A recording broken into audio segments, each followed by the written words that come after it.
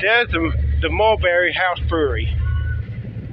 I fucked them over, and I feel so good about it.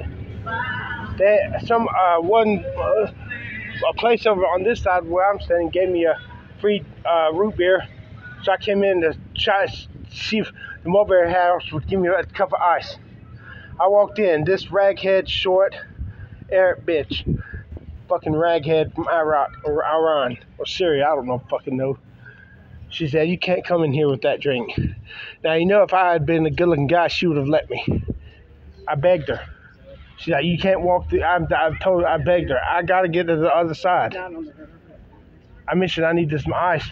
Can I get get a cup of ice? She's like, We don't have a cup of ice. So, guess what I did? Did I turn around and walk back out the door? Fuck no. I walked to the other goddamn side and she's followed me. She kept telling me, You can't you can't be in here with that root beer with that. That's not our drink. You stop ignoring you want to be banned from this place because I stopped ignoring me. I, I successfully walked to the other side.